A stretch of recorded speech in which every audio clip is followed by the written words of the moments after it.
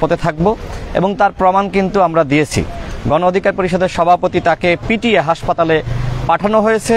তারপরেও আমরা কিন্তু আমাদের মিছিল, মিটিং, সমাবেশ আমরা কোনো কিছুই বন্ধ করিনি। আমাদের সভাপতি তিনি বলেছেন যে আমি যদি মারাও যাই, তারপরেও আপনারা বর্তমান শেখ হাসিনার পতনের দাবিতে বাংলাদেশে যে এক দফার আন্দোলন চলছে, এই এক দফার আন্দোলনে আপনারা আপনাদের জায়গা থেকে গণ অধিকার পরিষদের নেতৃবৃন্দকে নিয়ে আপনারা সর্বাত্মক ভূমিকা পালন করবেন। আমাদের ছাত্র অধিকার পরিষদের সভাপতি বিনিয়ামিন মোল্লাকে নিপীড়নমূলক একটি মামলায় গ্রেপ্তার করা হয়েছে। বিনিয়ামিন মোল্লার বাবা তাকে দেখতে গিয়েছিল এবং বিনিয়ামিন মোল্লা বলেছে যে সারা দেশের ছাত্র সমাজ তাদেরকে এক করার মাধ্যমে কীভাবে এই চলমান ফেসিবাদ বিরোধী আন্দোলন আরও বেশি সফল করা যায় এবং তিনি জেলে থেকেও যে ধরনের সাহসিকতার পরিচয় দিয়েছেন, ইতিমধ্যে বিনিয়ামিন মোল্লার বাবা এবং মা। তারা কিন্তু রাজপথে নেমে তারা প্রতিবাদ জানিয়েছে এবং বলেছে যে আমার সন্তানকে আমি প্রয়োজনে উৎসর্গ করে দিলাম দেশ এবং জাতির জন্য। অর্থাৎ গণ অধিকার পরিষদের নেতৃবৃন্দের উপরে যে ধরনের হামলা, মামলা, নির্যাতন চলছে, তারপরেও আমরা কিন্তু রাজপথ থেকে আমরা সরে যাইনি। আপনারা জানেন যে গতকাল যশোরে আমাদের ছাত্র অধিকার পরিষদের সাকিন নামের একজন ছাত্রনেতা, তার বাড়িতে পুলিশ গিয়েছিল এবং সেখানে ছাত্রলীগ গিয়েছে। ছাত্রলীগ গিয়ে তার বাসায় হামলা চালিয়েছে এবং হামলা চালানোর একটা পর্যায়ে তার মা ছাত্রলীগের কথা বলো না। তার মা ছাত্রলীগের নেতাকর্মীদেরকে পা পর্যন্ত জড়িয়ে ধরেছে, আমার সন্তানকে এইভাবে তোমরা নির্যাতন করো না। এই কথা কিন্তু তার মানে মা কিন্তু ছাত্রলীগের নেতাকর্মীদেরকে বলেছে। সর্বশেষ বলেছে যে, তোমার সন্তানকে ছেড়ে দিব। যদি সে ফেসবুকে একটি ভিডিও দেয় যে, আমি গণ অধিকার পরিষদ বা ছাত্র অধিকার পরিষদের রাজনীতি আর করব না। সারা দেশে এভাবে আমাদের উপর নির্যাতন নিপীড়ন চলছে এবং খুলনাতে গতকাল আমাদের একজন যুবনেতাকে তুলে নিয়ে গিয়েছিল। আমাদের একজন কেন্দ্রীয় যুবনেতাকে গতকাল নারায়ণগঞ্জ থেকে তুলে নিয়ে গিয়েছিল। অর্থাৎ এখন আমরা যেটি দেখছি সেটি হলো যে গণ অধিকার পরিষদের উপরে সিরিজ হামলা চলছে, সিরিজ গ্রেপ্তার চলছে।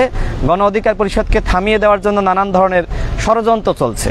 সারা দেশে কীভাবে গণ অধিকার পরিষদের কার্যক্রমকে থামিয়ে দেওয়া যায়, সেই অপচেষ্টা কিন্তু এই সরকার করছে। কিন্তু আমরা সোজা কথা বলতে চাই যে, যতই অপচেষ্টা করুক, আমাদেরকে আন্দোলন থেকে দূরে সরানো যাবে না। এর আগে দেখেছেন যে, যখন নুরুল হক নূরের বাসায় যখন ডিবি পুলিশ, গোয়েন্দা সংস্থার লোকজন যায়, তখন তাকে বলেছে যে, তুমি তোমার মতন করে ভাই আন্দোলন করো, রাজনীতি করো, কোনো সমস্যা নাই। কিন্তু তুমি কেন বিএনপির সাথে কেন জামাতকে নিয়ে কথা বলো? আমাদের কথা হলো যে এখন এই ফেসিবাদ বিরোধী আন্দোলনে যারাই থাকবে, গণ অধিকার পরিষদ তাদের সাথে সম্পর্ক রাখবে, তাদের সাথে থাকবে। আমি কি রাজনীতি করব, কার সাথে সম্পর্ক রাখব, কি রাখব না, সেটি নির্ধারণ যদি পুলিশ করে দেয়, সেটি নির্ধারণ যদি ডিবি করে দেয়, তাহলে আমি একজন রাজনৈতিক দলের নেতা হিসেবে আমি কি নির্ধারণ করব? আমি কি করব? আমার কি করার আছে? সুতরাং আমি স্বাধীন চিন্তার অধিকারী, গণ অধিকার পরিষদের নেতৃবৃন্দ স্বাধীনভাবেই সিদ্ধান্ত নেবে, কার সাথে সম্পর্ক রাখবে, কার সাথে জোট করবে, কার সাথে করবে না। আজকে বিএনপির লিয়াজু কমিটির সাথে আমাদের মিটিং ছিল। সেখানে বিএনপির স্থায়ী কমিটির সদস্য আমির খসরু মাহমুদ চৌধুরী ছিলেন। সেখানে মজ্জম হোসেন আলাল ছিলেন, যুগ্ম মহাসচিব এবং ভাইস চেয়ারম্যান বরকতুল্লাহ বুলু ছিলেন আমাদের পক্ষ থেকে। আমাদের নেতৃবৃন্দ এখানে উপস্থিত আছেন। তারা সকলেই ছিলেন দশ সদস্যের একটি প্রতিনিধি দল আমরা আলোচনা করেছি। সেখানে আগামীতে কি ধরনের কর্মসূচি দেওয়া যায়, কি কর্মসূচির মাধ্যমে শেখ হাসিনার বিদায় ঘণ্টা বাজানো যায় সেক্ষেত্রে ছাত্রদের ভূমিকা কি হতে পারে, যুবকদের ভূমিকা কি হতে পারে, শ্রমিকদের ভূমিকা কি হতে পারে, সেটি নিয়ে আলোচনা হয়েছে, নারীদের ভূমিকা কি হতে পারে। আমাদের যুবনেতা নাদিম ছিলেন যুব অধিকার পরিষদের সাধারণ সম্পাদক। যুবরা কীভাবে একতাবদ্ধ হতে পারে ছাত্র আমাদের এখানে পেশাজীব অধিকার পরিষদের সাধারণ সম্পাদক ছিলেন আমাদের শ্রমিক অধিকার পরিষদের সভাপতি ছিলেন। তারা জানতে চেয়েছে কীভাবে শ্রমিকদেরকে সংগঠিত করা যায়, এক্ষেত্রে আপনাদের ভাবনাটা কি? যুবকদেরকে কীভাবে সংগঠিত করা যায়, এক্ষেত্রে আপনাদের ভাবনাটা কি?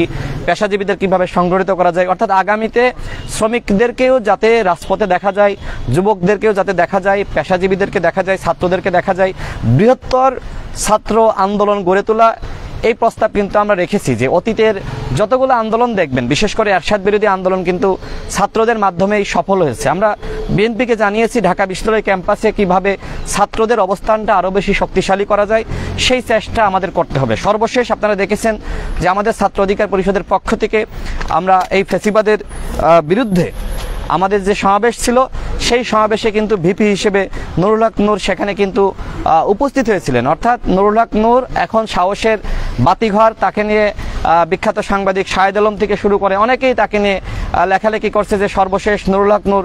এই আমি মনে করি নুরুল হক নূরের ক্যাম্পাসে যে রক্ত ঝরেছে, এই রক্তের মাধ্যমেই ক্যাম্পাসে ছাত্রদের বৃহত্তর ঐক্য গড়ে তুলবে এবং অবশ্যই ঢাকা বিশ্ববিদ্যালয় ক্যাম্পাস থেকেই শেখ হাসিনা সরকারের পতনের বিদায় ঘণ্টা বাঁধবে। এর আগেও এনএসএফ, আপনারা দেখেছেন মুক্তিযুদ্ধের সময়, এনএসএফ তারাও কিন্তু এইভাবে মানুষের উপর নির্যাতন নিপীড়ন করত। কিন্তু এর মাধ্যমে কি আন্দোলন, সংগ্রাম কখনো থামানো গিয়েছে? থামানো যায়নি। সুতরাং এখন ঢাকা বিশ্ববিদ্যালয় ক্যাম্পাসে নুরুল হকের উপর যে ধরনের রক্ত ঝরেছে, আমার যেটি মনে হয়, এই রক্ত ঝরার মাধ্যমেই ঢাকা বিশ্ববিদ্যালয়ের ক্যাম্পাসের ছাত্ররা নতুন করে জেগে উঠবে এবং ফেসিবাদ বিরোধী আন্দোলন ত্বরান্বিত হবে, যেটি বিএনপি চাই, গণ অধিকার পরিষদ চাই যে ছাত্ররা রাস্তায় নামুক।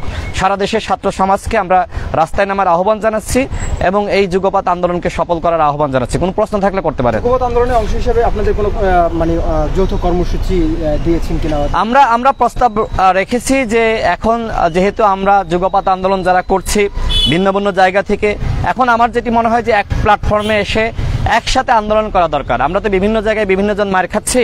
তার থেকে এক জায়গায় এসে যদি মার খেতে হয় প্রয়োজনে আমরা প্রতিরোধ এক জায়গা থেকে গড়ে তুলি। ভিন্ন ভিন্ন জায়গা থেকে আসলে প্রতিরোধ গড়ে তোলা বা এই ফেসিবাদের বিরুদ্ধে শক্তিশালী অবস্থান নেওয়া এটি কঠিন হয়ে যাচ্ছে। যে কারণে আমরা বিএনপিকে বড় দল তারা তাদেরকে আমরা আহ্বান জানিয়েছি যে আমাদেরকে এনিহাও এখন এক প্ল্যাটফর্মে এক জায়গায় এসে আন্দোলন করতে হবে। দেখেন জামাত বাংলাদেশের একটি বৃহত্তর শক্তি। এটিকে আপনি অস্বীকার করতে পারবেন? জামাতের একটি বিশাল সাংগঠনিক সক্ষমতা রয়েছে এবং জামাতকেই কিন্তু মাস মাসখানেক আগে তাদেরকে কিন্তু সরকার রাস্তায় নামার অনুমতি দিল। কিন্তু এখন নতুন করে যখন দেখছে যে জামাতের মতন শক্তি, যারা আসলে ছিয়ানব্বইতে যারা আওয়ামী লীগের সাথে আন্দোলন করে বিএনপির পতন ঘটিয়েছিল, এখন যদি এই জামাত আবার এখন যারা যুগপাত আন্দোলন করছে, এদের সাথে একতাবদ্ধ হয়ে রাস্তায় নামে, তারা তো অল্প সময়ের মধ্যে দশ ঘণ্টা আগে মনে হয় তাদের অনুমতি দিয়েছে। দশ ঘণ্টার মধ্যে দেখেছেন যে আপনার মৎস্য ভবন এলাকা, ইঞ্জিনিয়ারিং ইনস্টিটিউটে তাদের প্রোগ্রাম করার অনুমতি দিলে- দিলেও ওই এলাকা কিন্তু পুরো ভরে গিয়েছিল। অর্থাৎ সরকার কিন্তু মাঠে জামাতকে নামতে দিয়ে দেখল যে জামাতের এই দীর্ঘ দশ বছর যে তাদের রাজপথে নামতে দেয়নি, সেই জায়গা থেকে জামাতের সাংগঠনিক সক্ষমতা কেমন রয়েছে? সরকার একটি পরীক্ষা করল, কিন্তু দেখল যে জামাত তাদের জন্য একটি থ্রেট সেই জায়গায় জামাতকে এখন তারা মাঠে নামতে দিচ্ছে না। গতকাল আমরা দেখলাম জামাতের সমাবেশ করার অনুমতি দেয়নি, কিন্তু জামাত তারপরেও একটি বিক্ষোভ সমাবেশ করেছে। জামাত আবার আরেকটি জেলায় জেলায় বিক্ষোভ সমাবেশে তারা ডাক দিয়েছে। আমরা জামাতের প্রতি তো এই মুহূর্তে আমরা বলতে পারি না যে তুমি জামাত, তাই বলে তুমি রাস্তায় নামবা না। ফেসিবাদ বিরোধী আন্দোলনে যেই এগিয়ে আসুক না কেন, তাকে অবশ্যই স্বাগত জানাতে হবে। আমরা দেখলাম ডেপুটি স্পিকার সহ চোদ্দ জন এমপি পাবনাতে একজন জামাতের নেতার বাসায় খানা খাইলো এবং সরকারের পক্ষ থেকে কিছুদিন আগে জামাতের প্রোগ্রাম করার অনুমতি দিল। ছিয়ানব্বইতে একসাথে জামাতকে সাথে নিয়ে আন্দোলন করল। তো এখন যদি জামাত রাস্তায় নামে, তাহলে আওয়ামী লীগ কেন জামাত জুজু দেখাবে আমি জানি না। কেন জামাতকে ভয় পাচ্ছে জানি না। আমি মনে করি এই মুহূর্তে সবার রাস্তায় নামা উচিত। জামাত যদি রাস্তায় থাকে, প্রতিবাদ করে আমরা অবশ্যই জামাতকে ওয়েলকাম জানাই। আচ্ছা বিএনপির সাথে আজকে আপনাদের কি আলোচনা হয়েছিল যদি?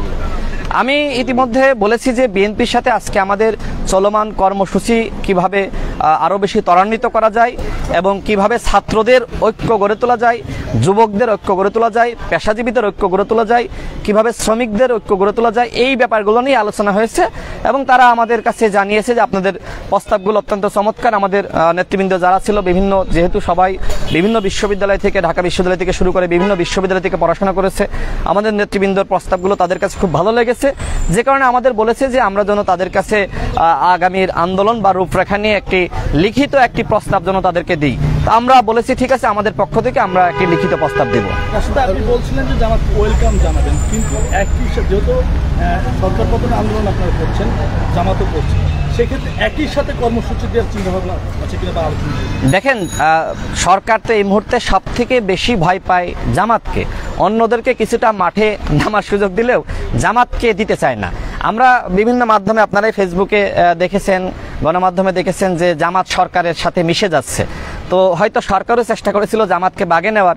যখন বাগে নিতে পারেনি, তখনই আবার জামাতকে মাঠে নামতে দিচ্ছে না অর্থাৎ সরকার দুই ধরনের নীতি ফলো করছে।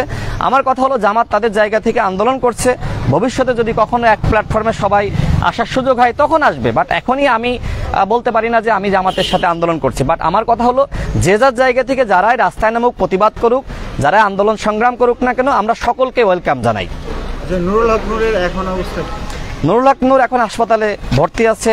বিএনপির মহাসচিব তাকে গত পরশুদিন আহ, দেখতে গিয়েছিলেন। দেখতে যাওয়ার পরেই ওই হাসপাতাল থেকে তাকে এক ধরনের জোরপূর্বক বাধ্যতামূলক রিলিজ দিয়েছে এবং পরবর্তীতে আমরা তাকে গণস্বাস্থ্য হাসপাতালে ভর্তি করেছি। গতকাল বিভিন্ন দলের নেতৃবৃন্দ তাকে দেখতে গিয়েছে সহমর্মিতা প্রকাশ করছে। অর্থাৎ দেশের মানুষ হয়তো ছাত্রলীগ আওয়ামী লীগের কাছে নুরুল হক নূর তার উপর নুরুল হক নূরের উপর ছাত্রলীগ আওয়ামী লীগ ক্ষুব্ধ হতে পারে, তার উপর হামলা করতে পারে, কিন্তু দেশের জনগণের ভালোবাসা, অন্যান্য রাজনৈতিক দলের ভালোবাসা, সেটি কিন্তু একের পর এক বেড়েই চলেছে। নুরুল হক নূর এখন হাসপাতালের বিছানায় তিনি কাতরাচ্ছেন, কথা বলতে পারছেন না, নড়তে পারছেন না, ঘুমাইতে পারছেন না। যেহেতু মাথার বিভিন্ন জায়গায় রক্ত জমাট এবং তাকে পিন দিয়ে আঘাত করা হয়েছে, আপনারা দেখবেন যে মাস্তানরা এক ধরনের আংটি পরে, পাঁচ আঙ্গুলের মধ্যে। সেই আংটি পরে তাকে ঘুষানো হয়েছে, তার ঠোঁট ফেটে গিয়েছে মোটরসাইকেলের চাবি দিয়ে আঘাত করা হয়েছে, চোখের মধ্যে আঙ্গুল ঢুকিয়ে দেওয়া হয়েছে। আপনারা সাংবাদিকরা, বিশেষ করে ইত্তেফাকের ভিডিও দেশ রূপান্তরের ভিডিও এবং সমকালের ভিডিও সেখানে দেখেছেন যে কীভাবে তাকে আসলে মৌমাছি মৌমাছি যেভাবে আক্রমণ করে একটা মৌমাছির চাক ভেঙে যাওয়ার পরে, ঠিক ছাত্রলীগ কিন্তু ওইভাবেই নুরুল হক নূরের উপর আক্রমণ করেছে। আমাদের সহযোদ্ধারা সর্বাত্মক চেষ্টা করেছে নুরুল হক নূরকে রক্ষা করার জন্য। দেশবাসীর কাছে আমরা দোয়া চাই নুরুল হক নূর যেন দ্রুত সুস্থ হয়ে তিনি রাজপথে ফিরে আসেন। নুরুল হক নূরের মনোবল এখনও পর্যন্ত চাঙ্গা রয়েছে। তিনি বলেছেন যে আপনারা, আমি আহত থাকা অবস্থায়, হাসপাতালে থাকা অবস্থায় রাজপথ আপনারা ছাড়বেন না। যে কারণে আমরা আগামী আট তারিখে আমরা বিকাল তিনটায় গণ অধিকার পরিষদের কেন্দ্রীয় কার্যালয়ের সামনে নুরুল হক নূরের যারা হত্যা চেষ্টার চালিয়েছিল সেই হামলাকারীদের বিচারের দাবিতে এবং একই সাথে ছাত্র অধিকার পরিষদের সভাপতি বিনামিন মাল্লার মুক্তির দাবিতে আগামী আট তারিখে গণ অধিকার পরিষদের কেন্দ্রীয় কার্যালয়ের সামনে বিকাল তিনটায় আমরা বিক্ষোভ সমাবেশের ডাক দিয়েছি। এই বিক্ষোভ সমাবেশে যে যার জায়গা থেকে অংশ নেওয়ার আমরা আহ্বান জানাই। রাশেদ ভাই, একটু অনলাইনে আমরা দেখতে পাচ্ছি যে বিভিন্ন চিকিৎসার জন্য, বিদেশে পাঠানোর জন্য আপনারা নাকি যোগাযোগ করতেছেন উন্নত চিকিৎসাতে বিষয়টি ক্লিয়ার করবেন এটাকে আসলে উন্নত চিকিৎসা যদি নিতে হয় সেক্ষেত্রে আমরা আপনাদেরকে জানাব। এখনও পর্যন্ত দেশে চিকিৎসা চলছে। সাংবাদিকরা আপনারা গণমাধ্যমে ইতিমধ্যে আপনারাই প্রকাশ করেছেন। তার শারীরিক অবস্থা সম্পর্কে।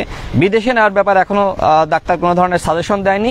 বাট আমাদের নেতাকর্মীরা আবেগ, ভালোবাসার জায়গা থেকে এবং দেশের অনেকে যারা তাকে ভালোবাসে, তারা বলছে, নুরুল হক, নূর প্রয়োজনে বিদেশে চিকিৎসা নিতে যাক। যেহেতু তার উপরে সর্বমোট পঁচিশ বার হামলা হয়েছে, যেটি মানব জমিনে একটি লিড নিউজ হয়েছে যে নুরুল হক নূরের উপর কেন এত হামলা? এবং এই হামলার কেন বিচার নাই? ডিবি প্রধান দেখলেন যে তিনি একবার নুরুল হক নূরের ভূয়সী ভূয়সী প্রশংসা করল। আবার পরবর্তীতে তিনি বলছেন, নুরুল হক নূর নাকি আসামিকে আশ্রয় দিয়েছে, তার নামে একটি মামলা হয়েছে। তিনি জানিয়েছেন, অর্থাৎ আমাদের যেটি সন্দেহ, সেটি হলো নুরুল হক নূর যেহেতু একটি ভাইব্রান্ট লিডার এবং ভোকাল, বাংলাদেশে তার কথা বলার সাথে সাথে মুহূর্তে সারা দেশের জনগণের কাছে পৌঁছে যায়। যে কোনো সময় নুরুল হক নূরের ডাকে গণ অভ্যুত্থান হয়ে যেতে পারে, সেই ভয় কিন্তু সরকার পায়, প্রশাসন পায়। এজন্য নুরুল হক নূরকে কীভাবে মিথ্যা মামলা দিয়ে আতঙ্কে রাখা যায় কীভাবে তার উপর বিভিন্ন সময় হামলা চালিয়ে কীভাবে তাকে আতঙ্কিত করা যায় ভীত সন্ত্রস্ত করা যায়। কিন্তু নুরুল নূর আসলে ভয় পাওয়ার মানুষ না। আমি তার সহযোদ্ধা হিসেবে বলছি কাছ থেকে দেখেছি। নুরুল নূর আসলেই বাঘের বাচ্চা। নুরুল নূর আসলেই বাংলার সাহসী সন্তান। এরকম নুরুল নূর আসলে প্রত্যেকটা ঘরে ঘরে দরকার। ধন্যবাদ সকলকে। হসপিটাল পরিবর্তন এটা কি কীভাবে দেখেন না জোর করে আহ, হসপিটাল পরিবর্তন এটা তো মানবাধিকার লঙ্ঘন। হসপিটাল কর্তৃপক্ষকে আমরা দোষ দিব না। তারা জানিয়েছে যে আসলে প্রশাসনিক চাপ রয়েছে, সরকারি চাপ রয়েছে। তারা এখানে নুরুল হক নূরকে রাখতে পারবে না এবং যেহেতু বিএনপির মহাসচিব থেকে শুরু করে বিভিন্ন দলের নেতৃবৃন্দরা তাকে দেখতে যাচ্ছে, হাসপাতাল কর্তৃপক্ষের নাকি ডিস্টার্ব হচ্ছে, সেই জায়গায় আসলে তাকে জোরপূর্বক সে ওইখান থেকে এক প্রকার বের করে দিয়েছে। পরবর্তীতে আমরা গণস্বাস্থ্যে নিয়ে গেছি, কারণ এখন বিভিন্ন প্রাইভেট হাসপাতালে ডেঙ্গু রোগী, বিভিন্ন হাসপাতালে জায়গা নাই বা নুরুল হক নূরকে নানান কারণে প্রশাসনিক চাপ থাকার কারণে রাখতে চায় না। এখন আমরা জাফরুল্লাহ স্যারের প্রতিষ্ঠান সেখানে রেখেছি এবং সেখানে তার ট্রিটমেন্ট চলছে। আমরা তো বল- বললামই এটা মানবাধিকার লঙ্ঘন ক্ষমতার অপব্যবহার। ইতিমধ্যে আমরা জানিয়েছি যে আমরা বিভিন্ন দূতাবাসে নুরুল নুরের উপর যে হামলা হয়েছে আমরা বিভিন্ন মানবাধিকার সংগঠন মার্কিন এম্বাসি ইউরোপীয় ইউনিয়ন সহ আমরা বিভিন্ন জায়গায় সেই ডকুমেন্টসগুলো স্টোরিগুলো আমরা স্টোরিগুলো আমরা পাঠিয়েছি। আমাদের উপর যারা হামলা করেছিল সেই সন্ত্রাসীদের তথ্য প্রমাণ সহ আমরা পাঠিয়েছি। ইতিমধ্যে দেখেছেন যে বাংলাদেশের ভিন্ন মতের মানুষের উপর যে হামলা, মামলা, নির্যাতন চলছে, এজন্য জাতিসংঘ বিবৃতি দিয়েছে পুলিশের যে ধরনের আগ্রাসী ভূমিকা। এজন্য কিন্তু অ্যামনেস্টি ইন্টারন্যাশনাল তারাও বিবৃতি দিয়েছে। আন্তর্জাতিক মানবাধিকার সংগঠনগুলো যথেষ্ট সচেতন, সচ্ছার ভূমিকা রাখছে। আমার যেটি মনে হয় যে প্রশাসনের উপর যে ধরনের চাপ কিন্তু বৈদেশিক চাপ রয়েছে, যেটি উবাদুল কাদের সাহেব তার বক্তব্যের মাধ্যমেই বলেছেন যে বক্তব্যের মাধ্যমে বলেছেন যে আমরা বিদেশিদের চাপে নাই, কিন্তু বিবেকের চাপে আছি। যে ব্যক্তি এই কথা বলে যে আসলে বিদেশিদের চাপে নাই, আমি মনে করি সে আসলে আরও বেশি বিদেশিদের চাপে রয়েছে।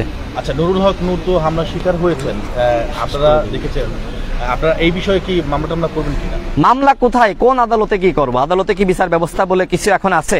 সুতরাং সেই জায়গা থেকে জনগণের আদালতে আমরা বিচার দিয়েছি। জনগণ রাস্তায় নেমে আসার মাধ্যমে, প্রতিরোধ গড়ে তোলার মাধ্যমেই হামলাকারীদের বিচার করবে। আমরা জনগণের কাছে বিচার দিয়েছি। বিএনপি নেতা আমানুল্লাহ আমান যখন ইয়ে হলেন তখন কিন্তু সরকার দলের পক্ষ থেকে খোঁজখবর নেওয়া হয়েছে। আপনারা বলছেন বিভিন্ন দলের নেতাকর্মীরা খোঁজখবর নিচ্ছে। সরকার দল থেকে কোনো খোঁজখবর কি নেওয়া হয়েছে দেখেন নুরুল হক নূরকে আওয়ামী লীগে নেওয়ার জন্য নানানভাবে চেষ্টা করেছে। যেহেতু সে একসময় ছাত্রলীগ করতো প্রধানমন্ত্রী তার মাথায় পর্যন্ত হাত বুলিয়ে দিয়েছে। কিন্তু কথা হলো নুরুল হক নূর তো জাতির সাথে বেইমানি করার ছেলে না।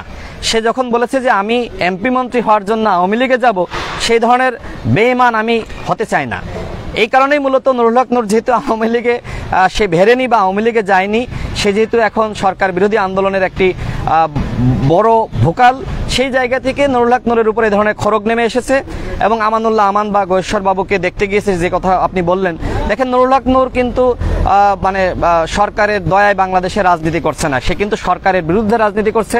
সুতরাং সরকারের পক্ষ থেকে কেউ খোঁজ খবর নিল না নাকি নিল না, সেটি আসলে এই মুহূর্তে আমাদের দেখার বিষয় না। আমাদের মূল কথা হলো যে আমরা সরকারের সাথে লিয়াজু করে, সরকারের সাথে যোগাযোগ রেখে বা সরকার আমাদের দেখতে আসবে আর সেই করুণায় আমরা রাজনীতি করব, সরকার দেখতে আসবে, সরকারের মন্ত্রীরা দেখতে আসবে, সেই অপেক্ষায় থাকব।